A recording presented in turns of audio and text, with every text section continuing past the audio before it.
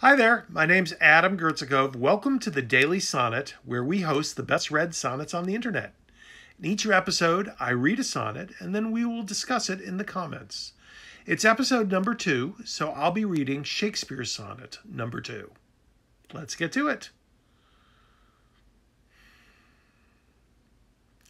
When forty winters shall besiege thy brow and dig deep trenches in thy beauty's field, thy youth's proud livery, so gazed on now, will be a tottered weed of small worth held.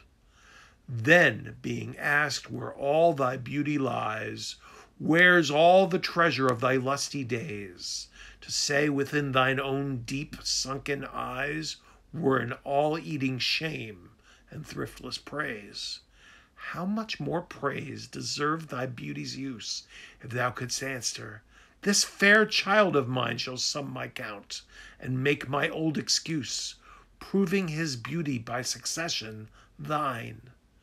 This were to be new made when thou art old, and see thy blood warm when thou feel'st it cold. Thanks again for viewing, and I look forward to reading your comments.